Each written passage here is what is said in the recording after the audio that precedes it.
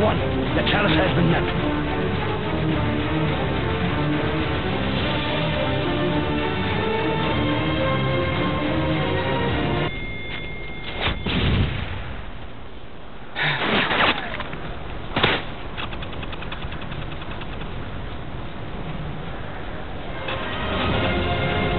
Your work is appreciated. Well done.